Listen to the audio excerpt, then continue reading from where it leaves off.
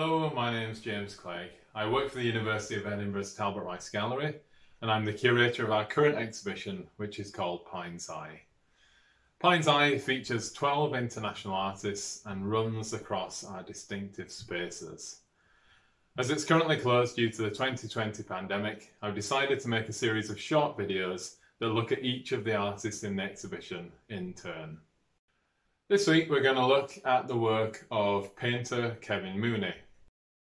We've got four of Kevin's paintings dispersed across the exhibition. They are Orbs and Apparition,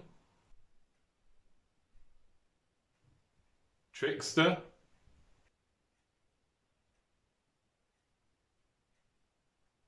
and Peasant.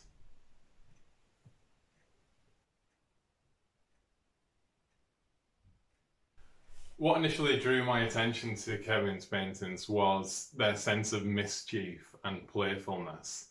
And I don't think we should underestimate how important those qualities are when it comes to thinking about ecology. Our logical mindset, our progress, has led us towards environmental crisis. So, in order to think ecologically, we are going to have to turn towards tricksters and magicians and people who can show us other ways of being in the world. As I got to know Kevin's work better, I realized that there are also other histories and other stories um, that they were speaking about. Kevin is an artist who's very interested in understanding the, the lineage, the heritage that he um, takes on as a painter.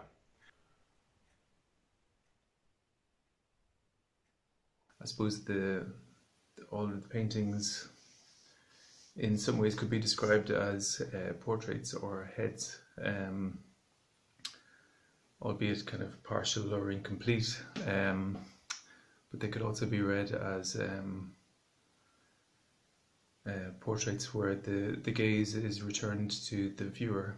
Um, and there was something in that, um, the humour and the mischief of that confrontation that kind of interested me.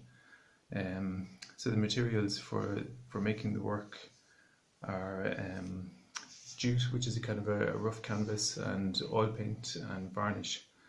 So these uh, these materials are very traditional. So they, um, I suppose, using those traditional those traditional kind of materials, kind of, um, I suppose it kind of it kind of locates the work within a, a tradition of painting and within a within an art history.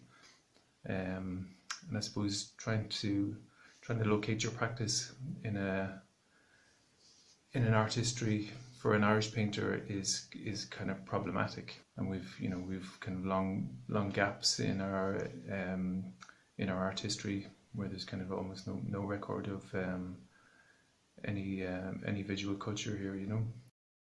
In Ireland in the 17th century, under the rule of Oliver Cromwell, the situation was really dire. About a third of the population disappeared. This was through disease, through conflict, but also through, uh, as Kevin describes it, this mass exodus of people um, being going or being sent uh, to Caribbean islands to work on the plantations there. So, trying to engage with an art history, you kind of have to have to reimagine it, and I suppose you, um, where I was kind of looking to kind of reimagine it was in um, in terms of immigration. Um, I suppose the the loss of um, visual culture and the loss of an art history is um, is is completely related to um, to to emigrating people, uh, to people leaving the island, you know, to leaving the country. So some some of the research that's that's uh, found its way into the work has uh, included um, historical links between Ireland and the Caribbean from 17th and 18th centuries. Um, so the, this is a kind of, um, I suppose, um, you know, not very well known and kind of underexplored kind of chapter in our, in our history.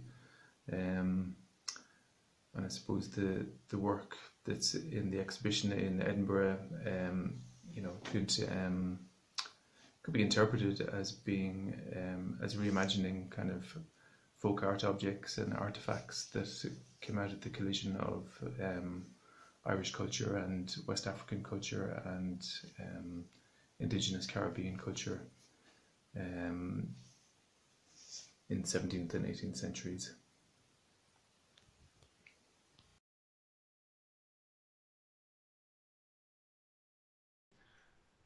This must have been a hugely traumatic experience for many of these people. In fact, Irish people were nicknamed red legs in the Caribbean because their fair skin just couldn't deal with the climate.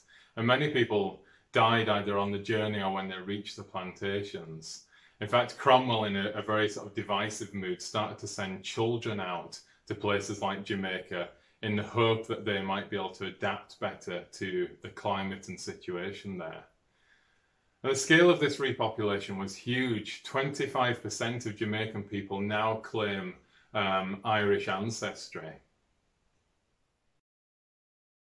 So what Kevin's doing here is he's trying to provoke us to show us this kind of void in our memory, this space of forgetting where all these things happened.